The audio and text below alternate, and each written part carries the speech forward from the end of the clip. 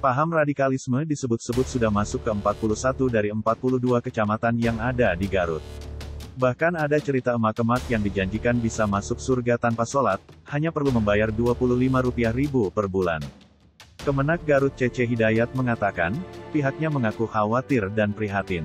Sebagai tindakannya, Kemenak bersama pihak terkait lain rutin melakukan penyuluhan kepada para tokoh agama, atau orang-orang yang terindikasi terpapar paham radikal. Selain itu, Pihak Kemenak juga beberapa kali terlibat dalam proses deklarasi yang dijalani para mantan pengikut aliran radikal yang menyatakan kembali ke pangkuan negara kesatuan Republik Indonesia. Terselip banyak cerita menarik saat proses deradikalisasi itu. Cece mengatakan, salah satunya, ada cerita emak-emak yang percaya dengan hanya membayar Rp25.000 dan tanpa beribadah dia bisa masuk surga. Cerita tersebut terungkap dalam kegiatan deklarasi yang digelar di Kecamatan Pamengpek, Garut beberapa waktu lalu.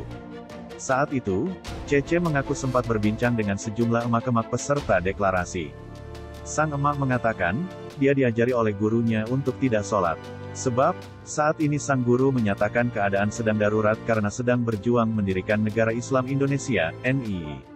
Sebagai gantinya, sang emak diminta untuk membayar infak Rp25.000 per bulan.